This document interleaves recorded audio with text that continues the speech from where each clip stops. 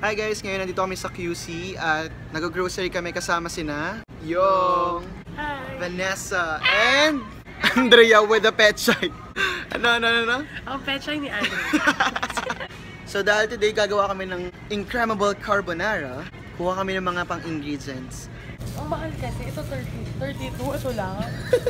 29. Walang mura. Ano, ano, ano? Walang mura, lahat na lang mahal. Ayaw mo magmahal. Ayaw ko mahal nakatakot. Mahal? Masakit magmahal.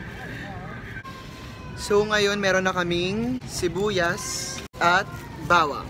Kuha kami ng Alaska crema at saka Alaska eva. Yay! Nakita kami ni Kuya Nico. Sama sa special projects before. Evap. Evap.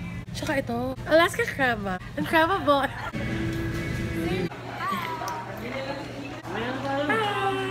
Ipapakita namin sa inyo mamaya yung mga pinamili namin. KJ kasi yung guard. eh. Ang bango. Ang mabigolim sa kapitbahay.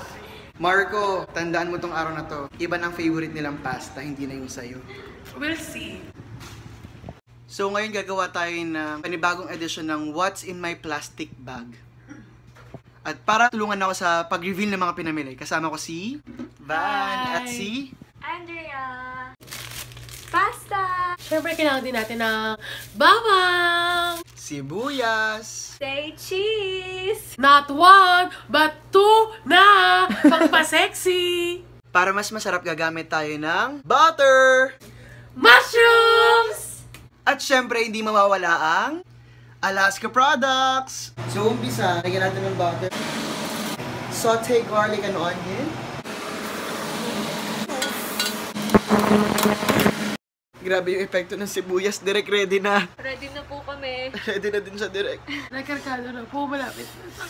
Sakit. Yung pain, ramdam na ramdam mo na yung pain eh. Direct ready na. Woo! Nakakaiyak, bes. Ngayon naman guys, lagyan natin yung mushroom.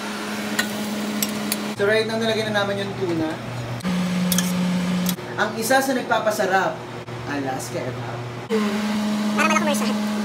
Ang tunay na nagpapasarap, Alaska Crema. Ito yung grated cheese eh. Siyempre, kailangan din natin lutuin yung noodles. Noodles. Hi guys, so ano masasabi nyo? Ang sarap!